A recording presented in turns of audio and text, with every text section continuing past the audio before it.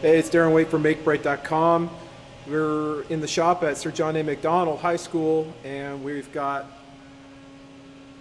hooked up to a Torcam three-axis mill, and we're driving it with GRBL running on an Arduino. The motor driver that we're using is actually the, the old ancient uh, box here from the early 90s, uh, but nevertheless it works, seems to be working for us. So I've just drawn a square on here. We've got show tool paths. We're going to do a carve. And we're going to go through the workflow here. Position, okay, raise the bit. We're going to say spindle on. Spindle on is really the switch right now. So the spindle's running. And I'm going to confirm the spindle's on, and I'm going to say start cutting.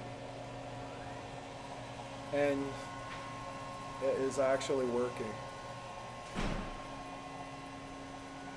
So this is GRBL uh, running through the shield I whipped up last night.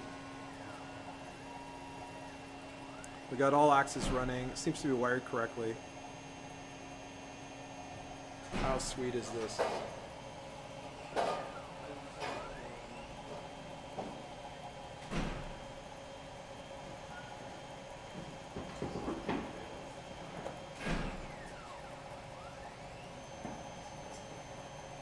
All right, for MakeBright.com, this is Darin White at Sir John A. Macdonald High School.